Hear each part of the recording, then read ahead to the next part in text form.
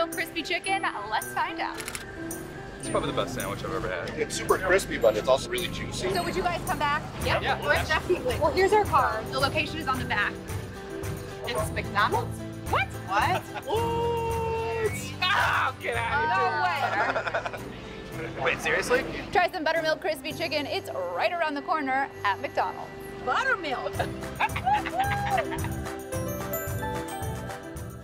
Back here on Ask the Coach, Joe Myers talking with Glasgow head coach Jeff Garmon after his ball club wins it 24 to 20 over Louisville Holy Cross last night at the Forcht Bank Bowl at Campbellsville University, and uh, the uh, Scotties. Uh, let's see, Campbellsville won the toss and deferred last night, so Glasgow did get the football uh, to start the game, and uh, each team punted on its first possession.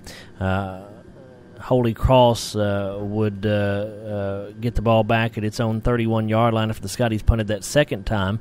Uh, they would eventually turn the football over on downs the Scotty defense held strong, and uh, Glasgow would get it back at the 36 yard line with about 2.42 to go in the first quarter, and uh, the Scotties would get their first score of the night right there on a four play, 64 yard drive. Ben Hughes catches a 61 yard touchdown pass from Desi Austin.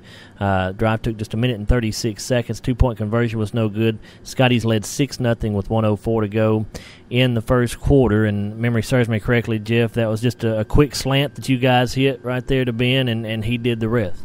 Yeah, they were playing zero coverage with no safety back in the back, and and uh, Ben made a nice move to get himself open, and we had enough time to throw the ball, and it, you know that's not a real hard catch and throw, to be honest with you, and and and we were able to outrun them to get down there to the end zone, but uh, you know that's that was kind of their philosophy, and. Uh, their philosophy kind of changed as the game went on because you started noticing they started putting safeties back there in the back and everything else. So, like like we said going into the game, like I told the boys, there were going to be opportunities to make plays. We just had to make them. They gambled about as much on defense, at least early on, as, as any defense I can remember seeing lately. You know, and that defense, I don't know if it necessarily goes along with the offensive philosophy that they had because they weren't going to try to beat you downfield uh, on on offense. So they were going to try to kind of ground and pound you a little bit and control the clock and everything, and then they were just going to go all out and put 11 guys up on the line on defense. It was just a matter of us keeping our composure and and and like I told the boys, when people do that, they've got you outnumbered. There's going to be some ugly plays, but for every ugly play, there's a play out there that you can make that can go 60 or 70 at any time. Holy Cross answered right back. They get the football back at their own 46 yard line. Uh, seven plays, 54 yards. Uh, two minutes and 29 seconds later, Evan Perry uh, would score on a four yard run. The uh, extra point good by Jake Brusher. Uh, and Holy Cross had its first lead at 7 to 6 with 10.37 to go in the first half. Scotties turned the football over on downs on their next possession uh, and uh, gave the football back to Holy Cross uh, at its own one yard line after Glasgow uh, got inside the 10 yard line and uh, could not score. Uh, and Jeff, we were talking about this off mic, but obviously, you know, anybody who's watched you play the first two weeks has seen you've had times where you've had trouble once you got inside the 10 and goal to go situations. What, do you, what are you guys going to have to do to overcome the, the issues you've had there the first two ball games?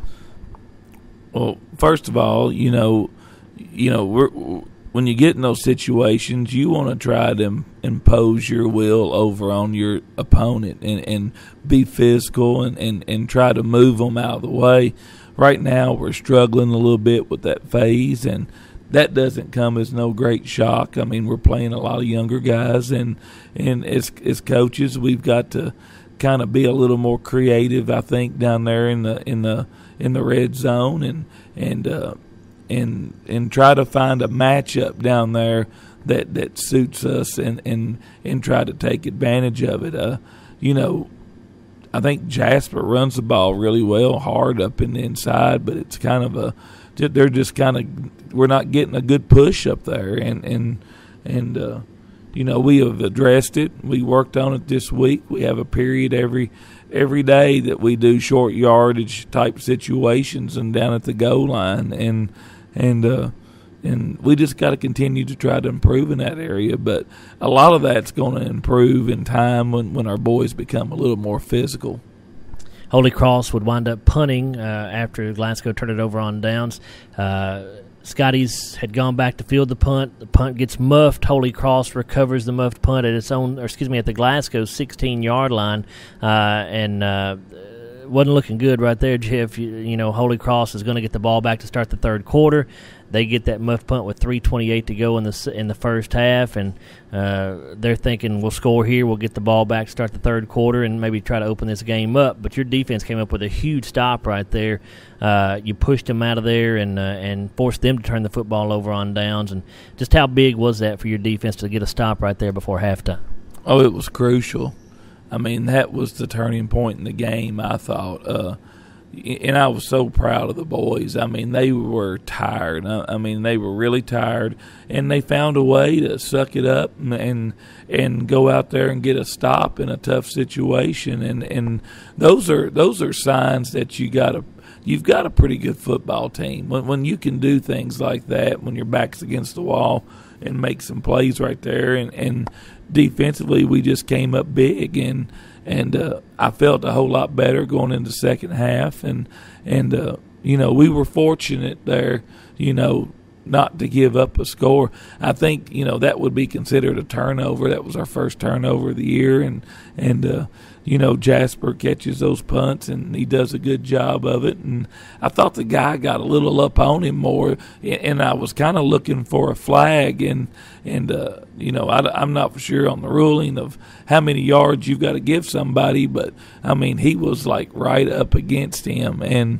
and uh, it, you know, nine times out of ten, Jasper Mundy catches that punt. Tonight he didn't, but but what I liked about it was we didn't hang our head and we didn't hang our head and and we dug in there and we played good defense and got a stop and and and, uh, and, and it was big. It was big, especially with them having the ball starting off second half. So we went into halftime with Holy Cross holding a seven to six lead over the Scotties. The Cougars came out, got the ball at their own thirty yard line to start the third quarter. They go on a twelve play, seventy yard drive uh, that took five minutes and thirty six seconds. Evan Perry would wind up breaking loose for a twenty three yard touchdown run. Brucher added the extra point for Holy Cross, and that gave them a fourteen to six lead with six twenty four to go in the third period. Scotties came right back though and answered uh, after taking over at the Holy Cross forty seven yard line. Uh, I think it was a good uh, kick return by Jasper that set you up in good position right there at the at the Holy Cross 47. Uh, seven plays, 48 yards later, two minutes and 15 seconds off the clock. Jasper then scores on a one-yard touchdown run. Two-point conversion failed, uh, left Holy Cross with a 14 to 12 lead with 4:09 to go in the third period. But uh, uh, your offense did a really nice job to answer back after Holy Cross had, had taken that eight-point lead. You guys get right back on the scoreboard, Jeff. Yeah, and, and, and it was important that we answered right there, and and uh, I thought the boys just kept their composure and they never panicked and and and, and they kept the course and and uh, you know they, they believed in it all the way to the end, uh, and and that makes you proud as a coach. Holy Cross turned the football over on downs on their next possession. Scotties would punt on their next possession, giving Holy Cross the football back at their own 38 yard line. Six plays and 62 yard drive uh, by Holy Cross that went 2 minutes and 41 seconds. Evan Perry would score on a 31 yard run here. The kick was no good, uh, and uh, that left Glasgow trailing 20 to 12 with 10.51 to go in the uh, ball game. Scotties would then come back, turn the football over on downs inside the 10 yard line once again. However, after Holy Cross took over at the 7, uh, this is the play that Jeff was alluding to back during the first segment. Uh, huge play. Uh, the Scotty defense came up with a deflection. Again, uh, we thought it was maybe Draven Pope that got the deflection. Matt Molden, we know, came down with the interception, uh, and uh, that gave the Scotties football back right at the 10 yard line. Two plays later, they were in the end zone when uh, Gavin Bird caught a 12 yard touchdown pass from Desi Austin. Two point conversion failed, but the Scotties are back to within two points. They're trailing 20 to 18 with 7:39 to go in the fourth quarter. Um, I'm trying to recollect, Jeff, but I, I seem to remember uh, Desi running around quite a bit in the pocket right there. That play took some time to develop, and he ran around long enough to find Gavin uh, open in the end zone back there. Yeah, he did, and and uh, it was a it was a play I think where Desi, uh, you know, bought time, and Gavin was able to get back there on that back line, and uh, Desi threw a strike, and, and, and Gavin caught it. It, it. it was a a big play at that time.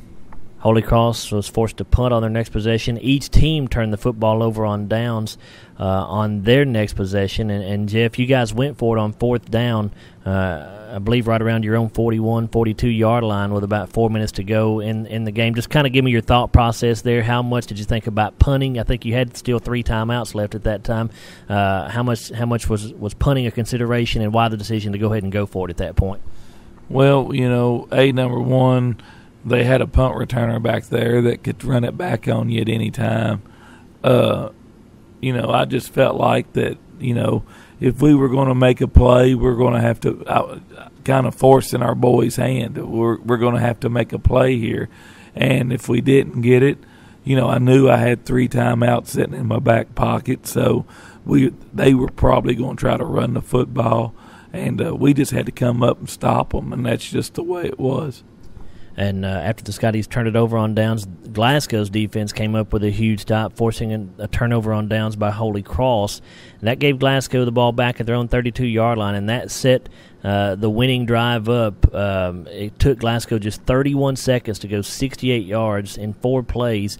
Ben Hughes catches that 52 yard touchdown pass, a beautiful strike thrown by Desi Austin down the left sideline. Ben makes a one handed catch between a couple of defenders, breaks a couple of tackles, gets into the end zone uh, for the go ahead score. The two point conversion failed, uh, but Glasgow led 24 to 20 with 118 to go in in the ball game, and uh, you know a 31 second 68 play or 68 uh, yard drive, Jeff.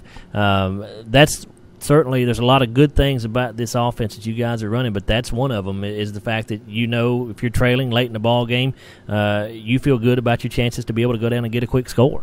And no nobody panicked, and, and that's what we do every day you know, we go no huddle. I mean, it's just it was just another drive for us. Now there was a little bit more of an importance put on it because we figured it was going to be the last drive of the night. But uh, that's just what we do every day. So it's not like it's a, a real crazy atmosphere over there when that situation arises. That's what we do every day, and and, and in the end, that's what we expected and Holy Cross obviously put in a, a passing situation, uh, getting the ball back with no timeouts left, just a minute 17 to play.